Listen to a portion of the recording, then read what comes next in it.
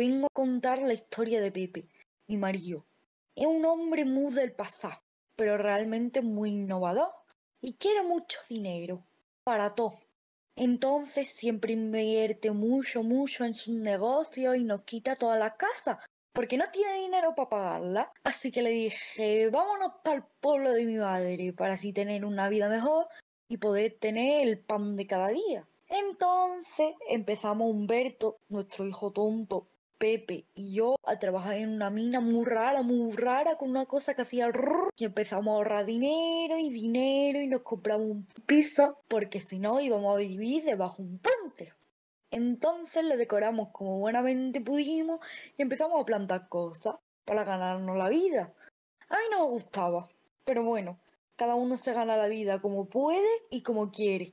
Y bueno, gracias a la plantica pudimos comprarnos nuestro coche. Y entonces con este nos pusimos a vender unos polvos que se encargaron mi Pepe y mi Humberto de hacer. Por mucho que yo decía, ay Pepe, que nos va a pasar algo, al final nos pilla la policía porque no llevábamos matrícula. Y entonces pasó lo siguiente. Hola, buenas. A ver, ¿quién es el dueño del coche? Soy yo, ¿qué pasa? ¿Me puedes explicar por qué no llevan matrícula? Pues no sé, yo fui al concesionario, lo compré y me lo dieron así. Pero tienes que llevar una matrícula. Ah, vale, vale. ¿Y dónde la carné? Sí, Matrícula tienes que llamar a un agente que te la ponga. vale. ¿Y no me la puedes poner tú? Ya que estamos aquí. Sí, sí. Vale. ¿Cuánto cuesta? 10.000. Y hacer el proceso de la matriculación, que es darme tu nombre, tu... Echa, de- echa delante, echa de- delante de mí. Olá, sou a editora. Ademais de comentar, dê-me like y suscrevam-se para que así pueda cobrar este mês y me morir de hambre. Gracias. A ver, caballero, enséñeme su DNI, por favor. Ahí tiene. ¿Vale? Pues pásame, pásame 10.000, ¿vale? Te voy a pasar el PayPal.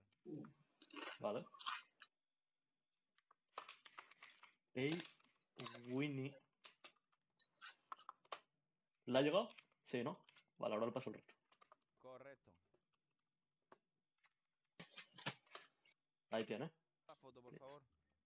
Aquí, aquí. ¿Algo guapo? Pero que se bajen tus compis del coche que Sí, es que- la- la- esta la. Es un poco todo, me salió tonto el niño. Humberto, bájate.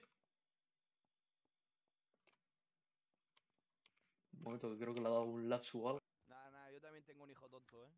Sí, El problema es que él está en mecánico. no, no tiene la ESO, tío, no tiene la ESO. Es que, bueno, Es que es muy duro.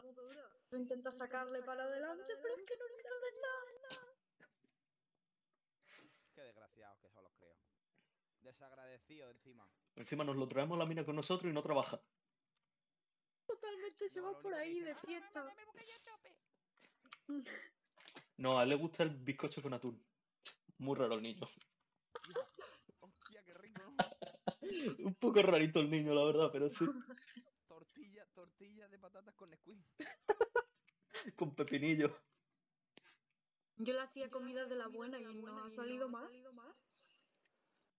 Bueno. Señores, nos vamos a patrullar.